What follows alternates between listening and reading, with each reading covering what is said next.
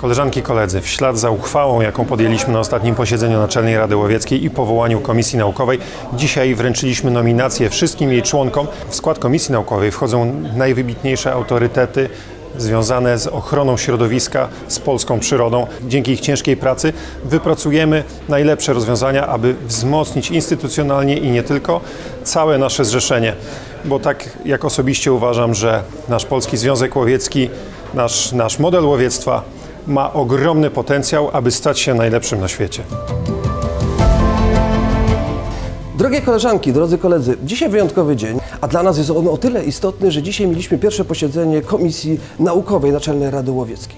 W skład komisji wchodzą generalnie naukowcy, zawodowi naukowcy, którzy pracują na różnych uniwersytetach.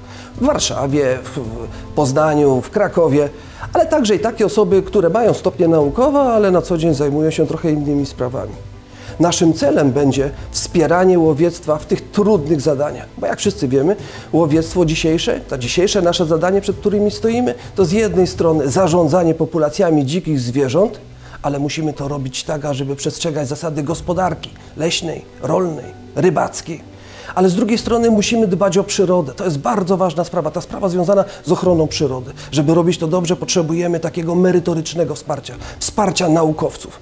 I właśnie po to została powołana Komisja Naukowa Naczelnej Rady Łowieckiej.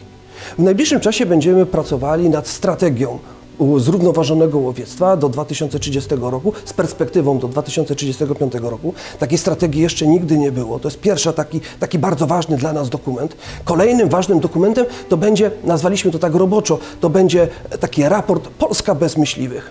Co by to było, gdyby nie było myśliwych? Jakie byłyby skutki przyrodnicze, społeczne, gospodarcze? Kto by za to wszystko płacił? Kto by te problemy rozwiązywał?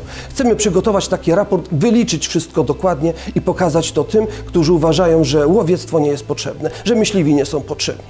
Ale będziemy wspierali też badania naukowe. Badania naukowe pokazujące na przykład, dlaczego dla nas, myśliwych, ważne jest, ażeby obok nas na polowaniu były nasze dzieci.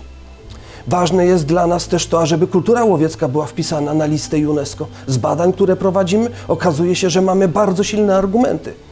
To, czy, będziemy, czy nasi oponenci będą chcieli słuchać naszych argumentów, tego nie wiem, ale mogę obiecać to, że będziemy świetnie do tych dyskusji przygotowani na wysokim poziomie merytorycznym. Takie są nasze zadania. Zapraszam Was wszystkich do takiego wsparcia komisji.